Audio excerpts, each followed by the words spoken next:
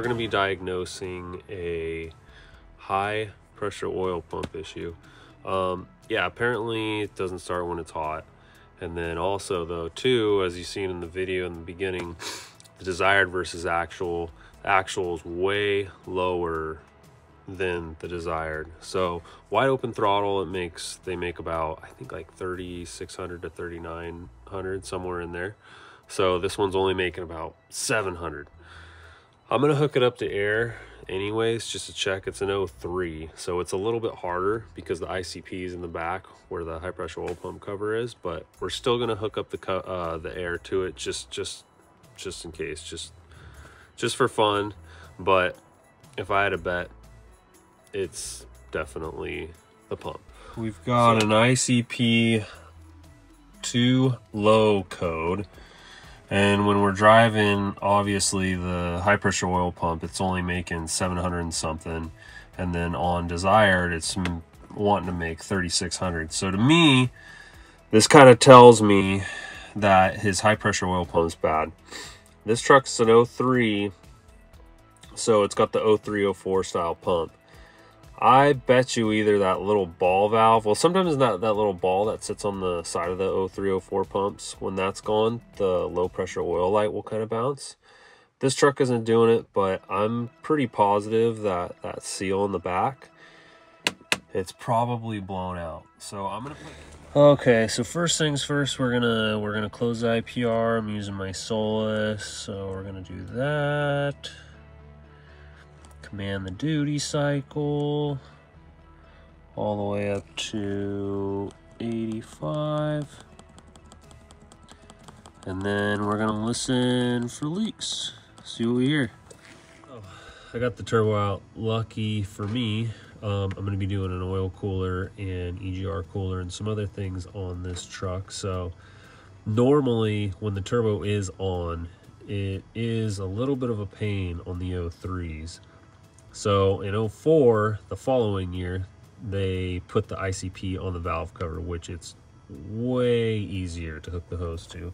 So normally it'd be right there on 04 and up, but since we're working with an 03, it's on the high pressure oil pump cover. And so I got the hose connected to my compressed air tank, which compressed air tank works way better than just regular shop compressor air because this thing can actually go up to I usually turn it up to about like five, 600, and then I can really hear where the leak is coming from. So, um, yeah, we'll turn the air on and see what we can hear. Turn this thing up. So I'm gonna turn it up to about four, 500, So my suspicion is the high pressure oil pump, um, the high pressure oil pump itself, probably leaking from that seal on the back where the gear is. As soon as I, as soon as I pull it out, I'll show you guys. Um, but that's that's my suspicions from the get-go. All right, well, we're gonna start breaking this thing down, and uh, we're gonna be doing an oil cooler, EGR cooler. Um, mainly because we're doing the pump so we're already there. It's never had an oil cooler done it's never had EGR cooler done. For the most part it's pretty much stock. It needs some glow plugs it kind of just needs some refreshing. And so the customer he just said well while we're there can we do an oil cooler and EGR cooler would it be worth it? And I said yeah of course. Uh, but once I have everything apart I'll show you guys the pump show you where it failed and then um, but yeah we'll, we'll just uh, we'll just go from there. And this guy's super cool, super patient, um, and he just he just wants it done right. So we're gonna break everything down, try and get everything apart tonight, and then tomorrow clean everything, and then once we get all the parts, put it back together. All right.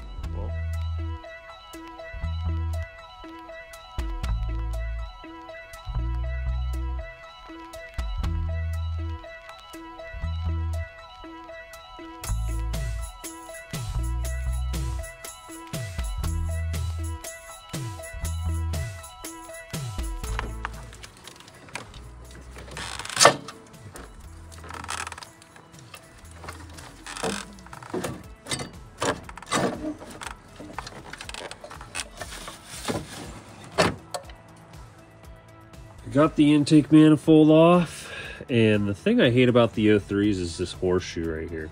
So we're actually we're gonna cut it right here and right here and then weld like a plate right here and then right here.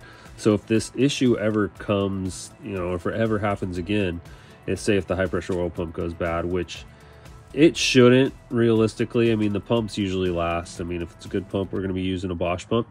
So if it if if it does happen in the future, say for some weird reason, all we got to do is pull the turbo, which is nice. So we would have to pull this anyways, regardless if we were going to do, if we weren't doing an oil cooler and all that stuff because of that horseshoe right there. So we're going to cut that thing out of there and then kind of make it like the four and up trucks. So it'll be a lot easier in the future to, um, you know, either do IPR or ICP as well. Well, we're burning the midnight oil again. Um, but yeah, we got the uh, we got the the intake manifold all out. We're gonna put some tape over this, and then two, whenever you guys pull the intake manifold, make sure you blow, you know, all through here in, in these channels because you definitely don't want, you know, something like this to fall down inside the intake manifold because that would not be good. But uh, anyway, so I always check I always check in in there and I, I kind of like will shine my flashlight and just blow it all out. But um, yeah, we're gonna finish up. We're gonna pull out the oil cooler and we're gonna pull out the high pressure oil pump cover and then pull out the pump and then we will be able to wash all the parts tomorrow and then we can go to bed.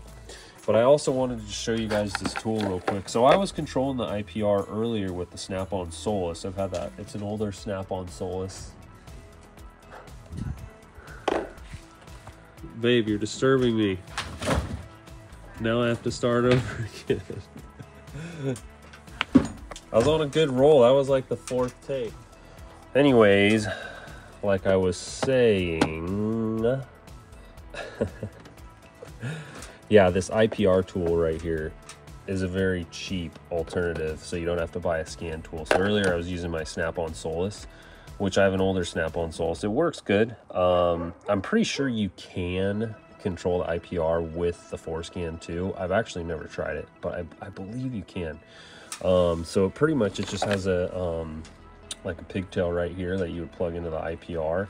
So you gotta unplug the IPR, which it's it's kind of a little harder to get to um, or it's kind of just one more step when you're testing like the high pressure oil pump system. Um, and then yeah, you just plug it into the battery right here. So I've had this tool for a while. I think I bought it off of one of the Matco trucks, but I've used it a couple different times and it, and it works good. So it's a great alternative to not having to buy a scan tool. So I just want to show you guys that real quick too.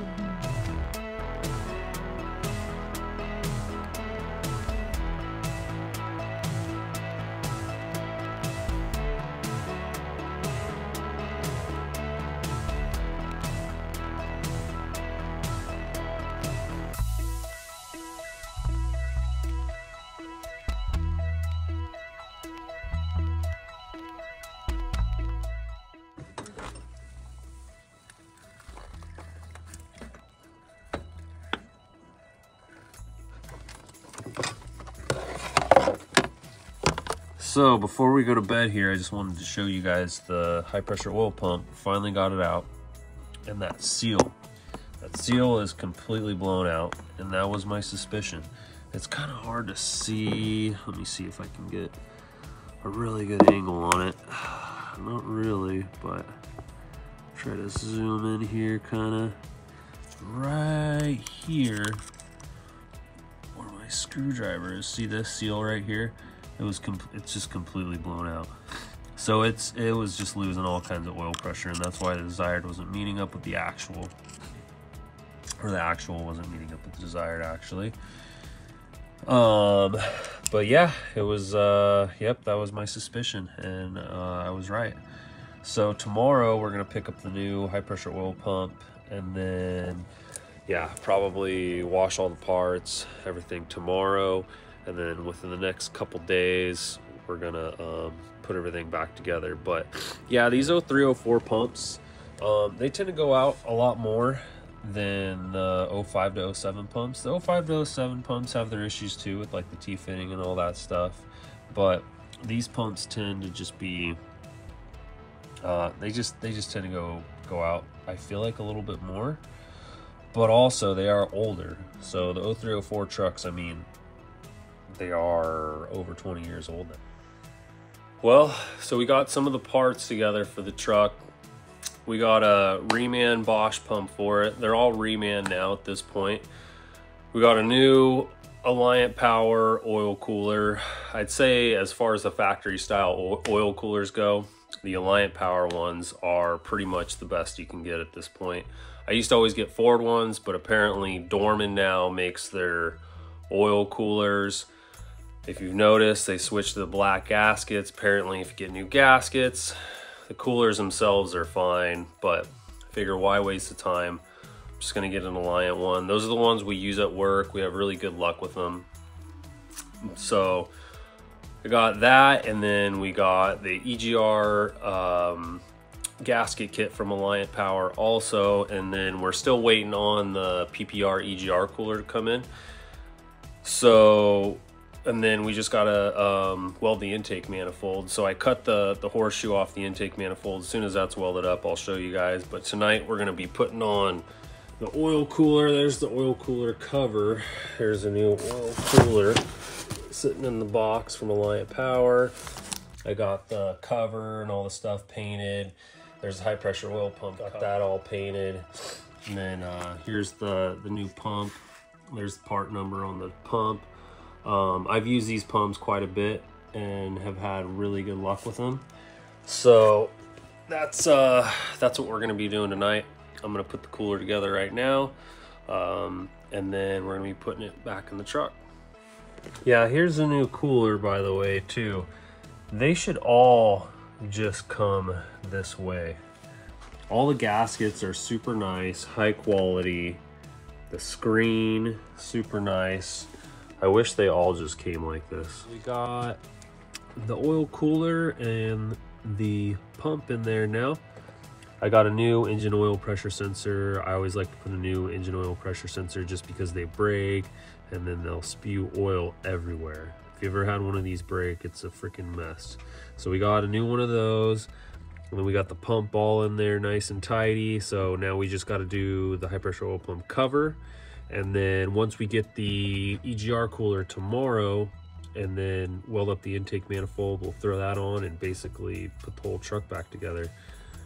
And yep, that'll be for tomorrow. Okay, so before we put the intake manifold back on, I just wanted to show you guys real quick um, we got it all nice and cut. My brother, my my brother welded it for me. So now it's kind of like a 04 and up style intake manifold. That's the only thing I don't really like about the 03s is where it has that horseshoe. So you have to pull the whole intake manifold to get to the high pressure oil pump cover. So now if we ever have an issue, which we shouldn't for quite a while, all you'd have to do is pull the turbo to get to it, which is really nice. And we also got our PPE EGR cooler on there. So now all we pretty much have to do is, is throw it on the truck and, and get everything back together. So we're gonna do that now. Well, the intake manifold's all on there. Look at how much more room there is. So much more room. I love that.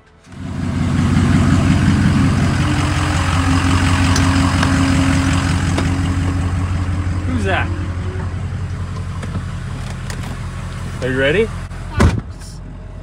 All right, well, we got to go to O'Reilly's because we're a little bit low on coolant. So he's running the G05, the Zerex G05 coolant. So we're gonna go pick some of that up and got my, my co-pilot with me. So he's coming with me and we're gonna take the 03.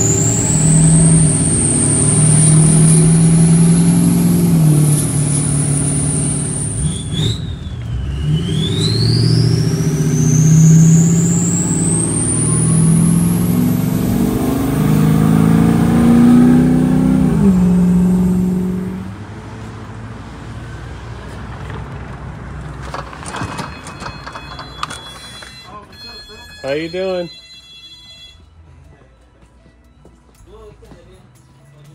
This is what we're looking for. You like you like shopping around in O'Reilly's? That's the corn I run right there. final charge. Okay, so we got the truck running. There's no leaks, nothing. So we're gonna go. We'll go on a test drive and we'll we'll uh, see what ICP ICP desired is, and yeah, check codes, all that stuff. But it's it's uh, running pretty solid so far, so I'm happy about that. Check it out. Everything looks pretty good underneath the hood. Coolant level's pretty good. So let's go take our first spin. So of course, there's a glare right where I want to look, but there's ICP and ICP desired bottom left corner. So I'll see if I can focus on that. And if you remember, it was only making 700 before, so I think we're good now. Wide open throttle right there, 36, 36. Perfect. That's uh, that's what we want to see right there. So as far as codes go, we're pretty good. The only code that it does have is a EGR sensor circuit low code which that was there before. I told him he might have to get a EGR valve. But other than that, we are pretty good. No more ICP low code. He's got one ABS code for like a wheel speed sensor. But other than that, I think I think we're pretty good to go. Okay, well, there you have it. That's how you diagnose an 0304 HPOP. That's how you install an HPOP on an 0304 truck. Um, it's not too much different than an 05, but uh, I know I didn't go through everything kind of uh, step by step and do the whole entire process, but I showed a good amount. If you guys have any questions, of course, you can message me on Facebook, Instagram. I'll try to get back to you. I'll, I can try to send you pictures or something maybe. But uh, yeah, the truck's running solid. I'm just gonna um, be topping off fluids, probably drive it to work, make sure everything's perfect, oil cooler temps, all that stuff. But um, but yeah, uh, ICP is meeting up with the desired, and that's what's most important. And that was the main problem. So I think we're good there. Anyways, I will see you guys in the next video, and thanks for watching. His car's just gonna sit on that, and he's not gonna be able to pull. He might have to go around. He, like, we did meet in high school. Uh oh. oh, Come on. Yeah. go! Woo! Keep going! Keep going. Keep going! Oh my gosh. Don't run over the, oh, the strap.